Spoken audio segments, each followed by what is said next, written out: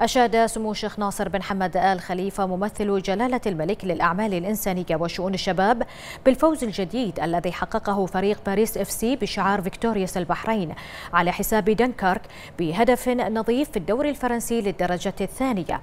وأكد سمو الشيخ ناصر بن حمد آل خليفة أن فريق باريس إف سي بشعار فيكتوريوس البحرين أعطى مكاسب عديدة للترويج لمملكة البحرين في المحافل الخارجية الكبرى مبينا سموه إلى أن رؤية اسم مملكة البحرين في المحافل الكبرى هو أحد المكاسب الكبيرة التي دائما ما نسعى لتحقيقها ضمن خطة البحرين الاقتصادية 2030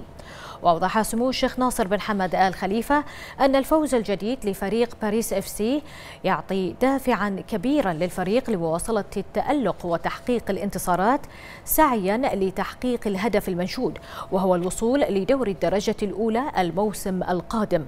متمنيا سموه كل التوفيق والنجاح للفريق في مباراته القادمة التي سيلتقي فيها مع فريق جرين ووبل ضمن الجولة الحادية عشرة يوم السبت الحادي والعشرين من نوفمبر الحالي.